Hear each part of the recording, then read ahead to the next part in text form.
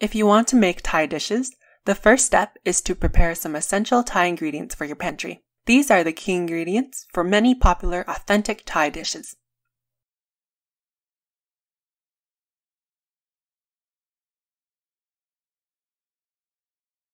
Essential ingredients for Thai cooking Fish sauce.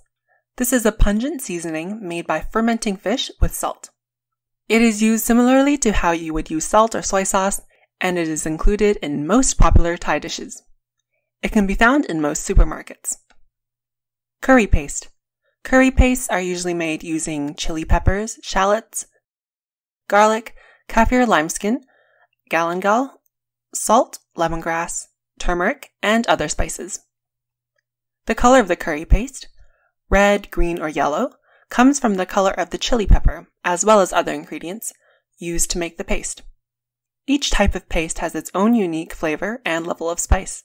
Red is usually the hottest, green is usually the milder of the curry pastes, and yellow falls somewhere in between.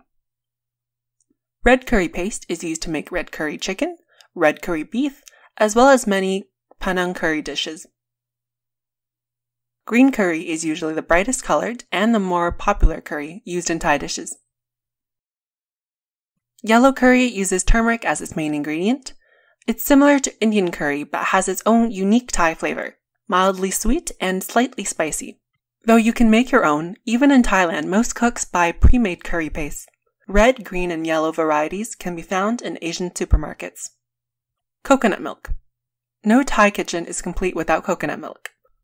It is widely used for Thai curries, soups, and desserts. They're super handy to have on hand, so stock up on a few cans if you plan to cook Thai food on the regular. Creamy coconut milk is better for cooking than the watery variety. While you're shopping, simply shake the can and listen to determine its consistency. Mango sticky rice is one of our favorite Thai desserts that uses coconut milk. Tamarind. Tamarind paste tastes very sour with a somewhat citrusy taste. It has notes of smoke and caramel as well, making for a complex flavor profile. It is thick, sticky, and resembles molasses. In Asian stores, it's available as a fruit, paste, and concentrate. If you buy the fruit, soak the tamarind pulp in hot water, remove the fibers and seeds, and squeeze to extract the dark, smooth paste. I prefer to use concentrated tamarind as it's easy to use and doesn't require any preparation. Classic pad thai sauce is made with tamarind. These ingredients can be stored in your pantry for a long time.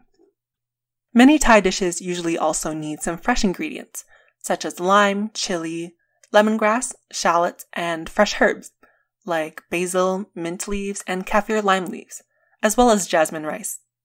With these ingredients, you will be well prepared to make almost any delicious popular Thai dish. Thank you for watching. Please like the video if you enjoyed the recipe and subscribe for more traditional Asian recipes. If you have any questions, please let me know down in the comment section.